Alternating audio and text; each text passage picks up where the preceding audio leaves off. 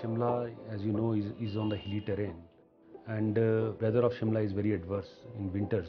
Generally encountered mainly two type of uh, disasters. One is heavy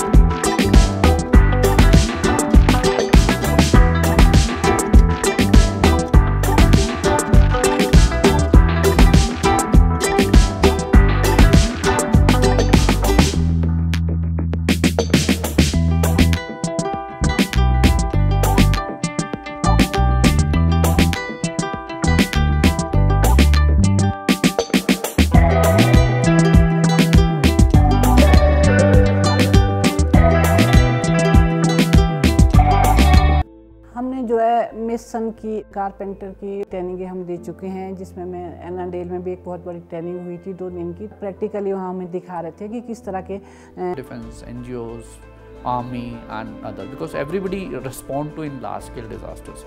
Then everybody needs to know that insight as what are the psychological issues involved and how to take care of them. Schools are the most uh, important and vulnerable places because uh, it is a structure where the density of the occupant is very high.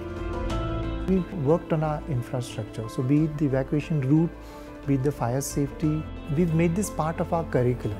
We have regular classes, whether it's the evacuation drill, a simple chart, posters, it's part of their activity now. Uh, Thomas Jefferson's, you know, quote, an enlightened citizenry. So it's all, it's our responsibility. So that is the guiding motive.